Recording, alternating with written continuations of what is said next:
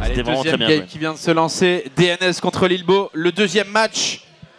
On rappelle que c'est un BO3 et que le premier à deux points, Et points. à deux points, Ah remporte complètement cette demi-finale. Donc Lilbo est à un balle de match, une balle de match pardon, euh, pour cette euh, grande finale. Euh, donc tout va se jouer là. Donc vous êtes bien sur O-Gaming, vous êtes bien au Meldon à Paris. Oui. Vous êtes bien avec le grand Lilbo et le grand DNS. Le prochain match, l'autre Vous êtes deuxième demi-finale. Ouais, vous êtes bien, vous êtes bien, vous êtes chaud, tranquille, pépère. La deuxième demi-finale, soir, ça sera c'est la teuf. Daichi contre Marine Lord juste exact. après. Gros Terran Gros contre TVT. Terran. Made in Millennium. Oh Euh, yeah. Les deux joueurs, euh, alors on a un peu discuté avant avec Daisho euh, et Marine Lord, à savoir quels étaient les pronos pronos. Et il se trouve que c'est des joueurs qui ne se jouent pas tant que ça chez Millennium apparemment. Madelisk d'ailleurs qui, qui est là ce soir, Hmm. joueuse Millennium euh, suédoise qui est venue euh, pour le week-end Exactement. et pour le tournoi de demain, les tournois des guerriers de l'Apocalypse euh, que je co-casterai d'ailleurs. Euh, très content de le faire. Un tournoi féminin euh, avec euh, de- notamment Akane et Madelisk. Mm. Donc euh, deux joueuses euh, de StarCraft très, très skillées. Une suédoise, une française. Et c'est peut-être la finale qu'on aura d'ailleurs. Donc Ouais. si vous êtes également dans le Hood ou sur Paris demain, n'hésitez pas à passer au Meltdown. Il y aura également du StarCraft de qualité. Oh yeah. Et c'est parti, DNS de la Team 1 ici qui se retrouve en bas à droite de la map, base du roi Sejong. Faites du bruit pour DNS Et en haut à gauche de la Team XMG, il s'agit du non moins fameux Lilbo Lilbo qui a récupéré de la Ouais, cote de popularité bien sûr. D'un coup ça a changé. Bon non. En même temps, les gens supporter Lilbo, euh, ça revient, euh, je sais pas, à supporter le Real Madrid euh, dans un match contre Guingamp quoi. Ouais.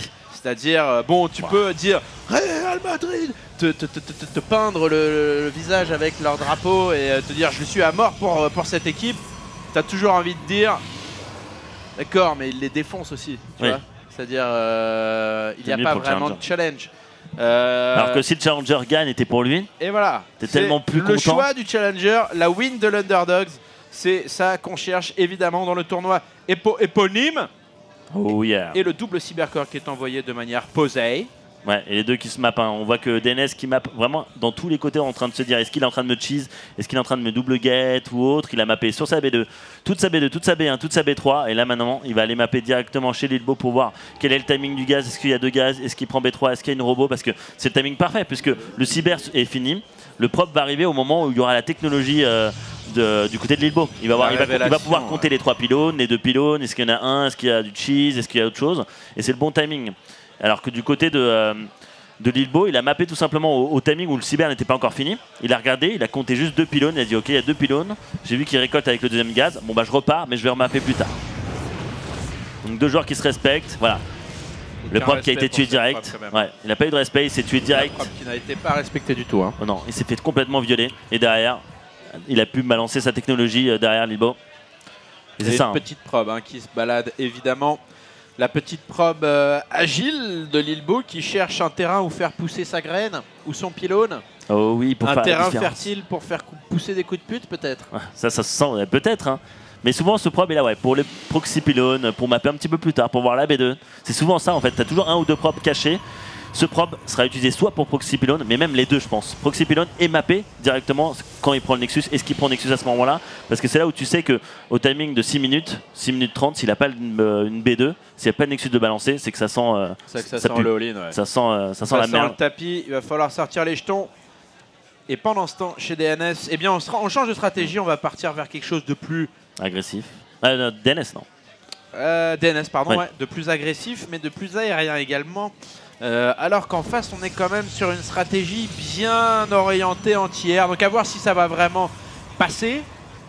Le Ça va être dur. oracle. Et honnêtement, Lilbo qui joue vraiment safe, hein, qui joue. euh, en plus, il joue la map aussi, parce que cette map est vraiment dédiée pour, euh, pour la technologie qu'il est en train de faire, Lilbo. C'est vraiment euh, vu tu peux blinker partout. Sur la B2 derrière la B2 derrière la B3 derrière la B1 mais partout c'est quand même un truc exprès pour blink vraiment. Et là en plus il fait la robot pour le DT les trois gates qui sont balancés le proxy qui est balancé. Donc là ça sent le l'agression typique. Et je pense que j'ai peur pour DNS j'ai vraiment peur. Ouais, mais en même temps, Lilbo n'a pas vraiment de quoi défendre chez lui, mon petit moment. Euh, il aura a tout warpé chez son oui, adversaire. il aura il a le, con- le Mothership Core. C'est ce truc qui est parfait pour Ah, il le, le va photo overcharge. complètement avoir le photon overcharge. Et effectivement, et du coup, le push de, de DNS là, euh, il va falloir le caler. Oh là Voilà. là là là. En plus, c'est calé, mais c'est parfait c'est au timing, il l'avait même pas vu. Laura qui Mm. a déjà lancé le truc. Hein. Ouais, il a- il- en fait, le problème c'est que l'Oracle est arrivé directement sur la B2 de euh, Lilbo. Il a tué le prop, il a dit ok, oh, c'est parfait, je sais que tu vas arriver, je vais perdre aucun prop. Derrière, je vais jouer le micro. Ah, la micro-gestion qui doit être parfaite. Ici, le Mothercore qui commence à prendre. Le Nexus qui n'est pas fini. C'est crucial que ce Nexus se finisse. Oh, merde Non, il a été annulé. Le Nexus qui est cancel et on n'aura pas de photon overcharge sur ce bâtiment. Et euh, c'est là que le plan de DNS commence un peu à prendre l'eau.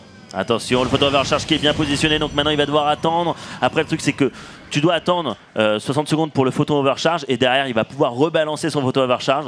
Donc le temps va passer, va couler. Et là, on peut voir, hein, il essaie de jouer vraiment défensif. Qu'est-ce que va décider euh, Lilbo Et Lilbo va décider vraiment de jouer. euh, Bah Lilbo il est max, Ouais. il peut, euh, s'il pose expand, voilà ça vient d'être fait, il peut se permettre de continuer la pression en bas Mm. de la base de DNS. Ici c'est vu, attention on a un autre Oracle qui est quelque part, il est là. Ouais, mais là, tu vois, il est safe. Hein. Lilbo sait. Il sait qu'il est bien dans la game. Il sait qu'il doit pas faire aucune erreur. Et quand tu as, vraiment ce niveau de, de prestation, regarde, il est en train d'essayer de faire un petit propre, repartir. Tiens, un petit pylône gratuit, pourquoi pas. Allez hop, je vais partir. le blink ici. C'est très bien joué de la part de Lilbo. Et là, c'est ça qu'il fait. hein. C'est qu'il est bien, il est devant la game. Son Nexus est positionné sur sa B2. Il va jouer vraiment macro. Empêcher euh, DNS bah, de, de bouger.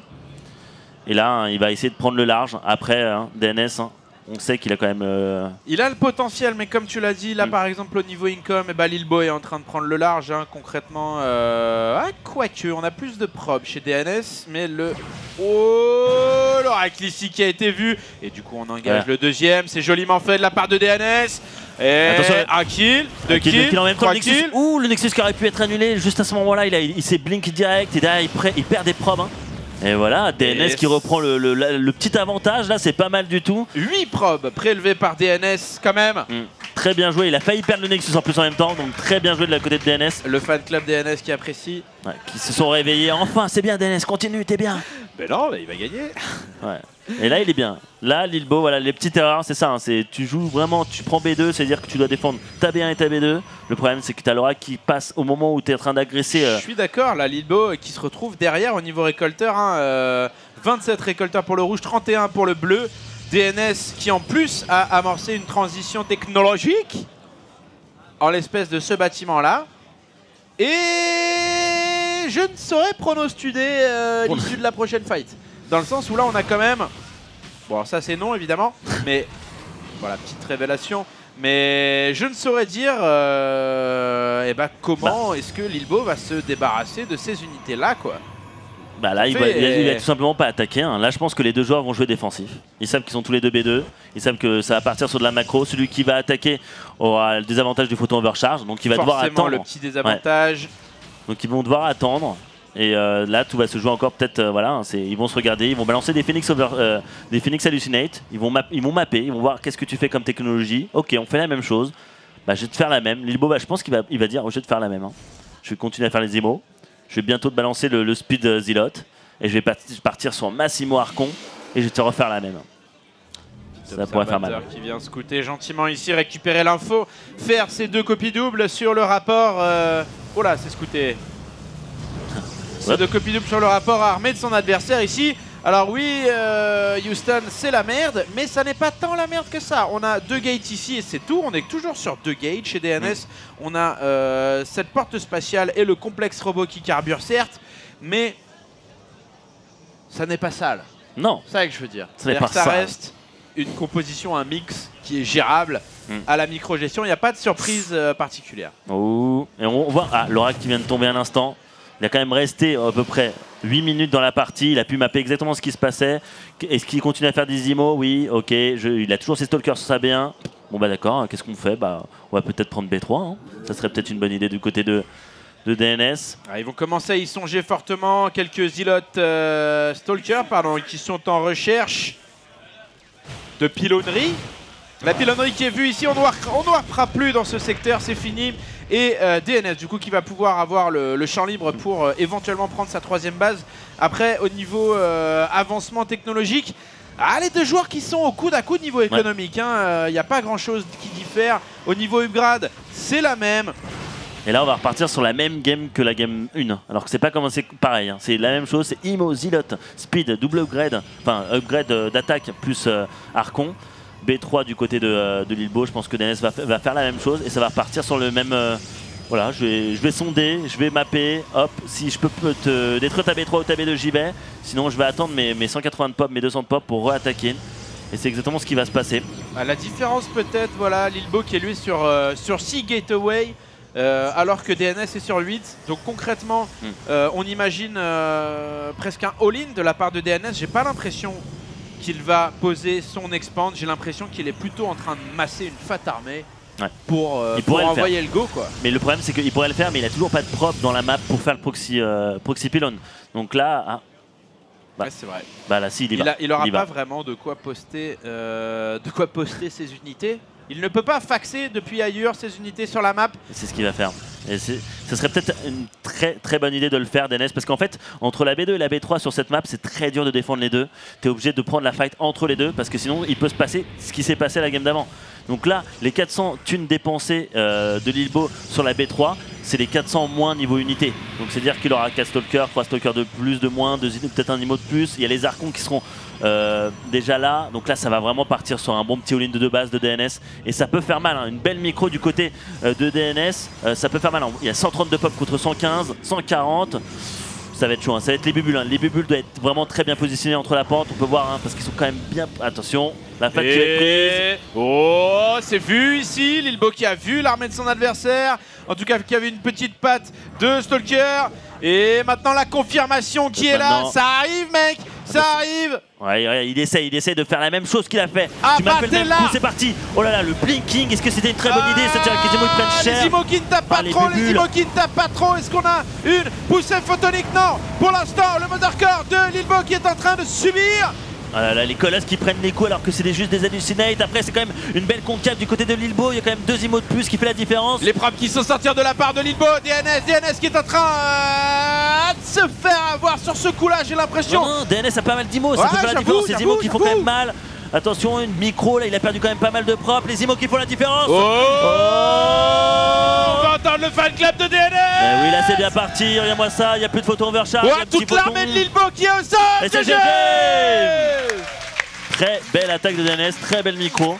Il a blink in direct pour tuer les imos. Vraiment chapeau. Magnifique prise de fight de la part de DNS qui nous amène à un partout. Oh yeah. Un partout, un partout, c'est serré à un moment, un partout. Hein. Ouais, hein. c'est serré, serré. Franchement, euh, Lilbo a dit Bon, attends, tu m'as fait le même coup, je regarde les replays, je vais te faire la même, mais avec une base en moins. Ouais. Et euh, DNS a dit Bon, allez, j'y vais. Il a balancé les deux bonnes bubules. Et le blink in était vraiment très osé parce que c'était quand même un blink in genre je fonce dans les imos. Il aurait pu tout perdre d'un coup. Il a dit non, je fonce sur les imos, je te tue les deux imos. À la fin, il me restera que mes quatre imos. Et c'est les quatre imos qui vont faire la différence. Franchement, très belle euh, rencontre. Ouais, pour l'instant, la prise de fight qui a été solidifiée par DNS.